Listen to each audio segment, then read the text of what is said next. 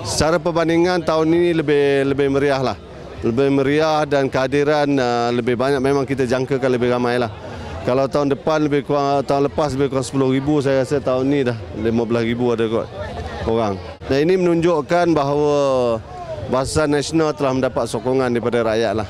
Dan kalau kita tengok yang hadir pada malam ini ada daripada berbagai bangsa. Ada Melayu, ada Cina, ada India, ada bangsa lain. Jadi Alhamdulillah lah, sambutan cukup meriah. Ah, berdasarkan uh, survey yang telah kita buat, ya, kita dapati uh, sokongan terhadap Barisan Nasional itu telah meningkat. Uh, telah meningkat. Dan berdasarkan program-program yang telah kita buat juga, kita nampak banyak sambutan cukup meriah. Contohnya kita pergi minum pagi, minum petang di tempat-tempat di kawasan-kawasan uh, perumahan dan kita pergi ziarah orang sakit, pergi kenduri kahwin, pergi orang meninggal.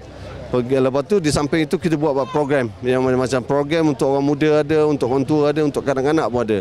Contoh yang latest kita buat ini adalah penyerahan uh, examination kit kepada budak-budak UPSR, budak-budak PMR ini menunjukkan keprihatinan Barisan Nasional terhadap pentingnya pendidikan dalam negara kita. Kuala Melaya kita buat futsal, kita buat baiki motor dan uh, dari segi golongan yang bawah umur 30 contohnya bila kita approach anak-anak mereka yang UPSR uh, menunjukkan keprihatinan pada kita di secara tak langsung kita approach uh, pengundi muda.